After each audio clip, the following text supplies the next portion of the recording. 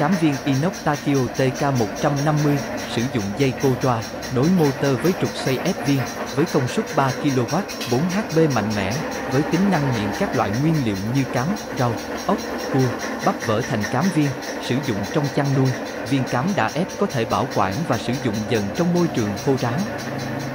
Máy được thiết kế khung che inox giữa dây cô roa nối từ cu ly máy đến trục động cơ, giúp an toàn khi sử dụng, tăng cường tuổi thọ của máy. Phễu nạp nguyên liệu được làm bằng inox chống rỉ giúp khi đổ những nguyên liệu cứng như ốc cua, phễu sẽ không bị biến dạng hoặc bị tróc sơn như các loại phễu thường trước đây. Motor máy được làm bằng chất liệu 100% dây đồng, có đầy đủ thông tin về thông số và nhà sản xuất đã được kiểm định về chất lượng, với chính sách bảo hành của công ty đối với khách hàng là lỗi một đổi một trong 12 tháng.